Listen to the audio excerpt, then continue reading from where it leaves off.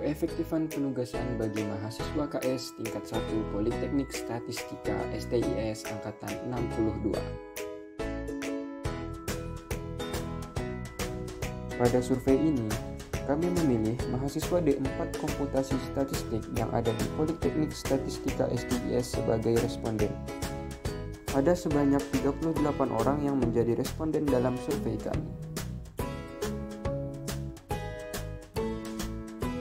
Selama satu tahun ini, mereka melewati perkuliahan secara online, dan total ada sebanyak 14 mata kuliah yang telah mereka dapatkan. Lalu, bagaimana ya tingkat pemahaman mereka terhadap materi perkuliahan selama satu tahun ini? Rata-rata tingkat pemahaman materi perkuliahan mahasiswa komputasi statistik angkatan 62 melalui tugas yang diperoleh.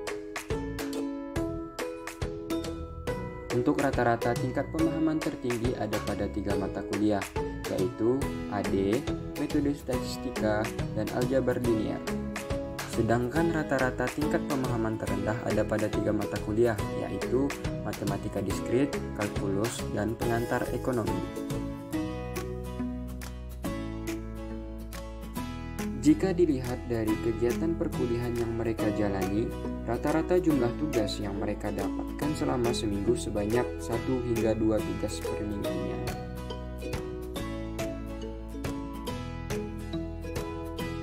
Dari tugas yang mereka dapatkan tersebut, mahasiswa lebih banyak menghabiskan 5-9 jam waktu mereka dalam seminggu untuk mengerjakan tugasnya.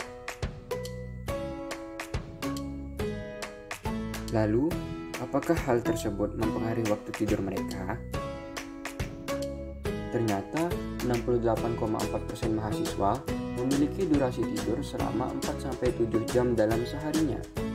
Padahal, menurut National Sleep Foundation, durasi tidur yang ideal untuk usia 18-25 tahun adalah 7-9 jam. Namun, hanya sebanyak 30% mahasiswa yang memiliki durasi tidur yang ideal. Apa dampak kurangnya durasi tidur bagi mahasiswa?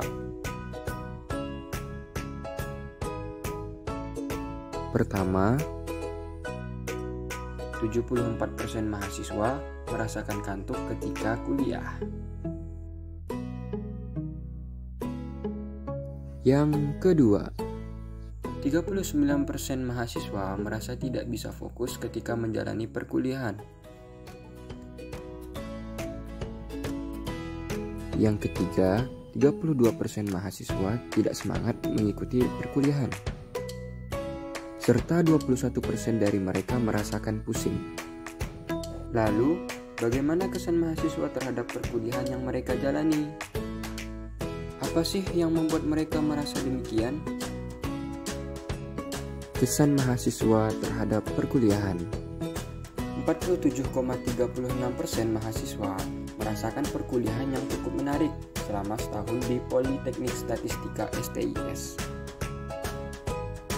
Preferensi mahasiswa terhadap kuantitas tugas dan materi 71% mahasiswa memilih untuk mendapatkan pemaparan materi daripada tugas.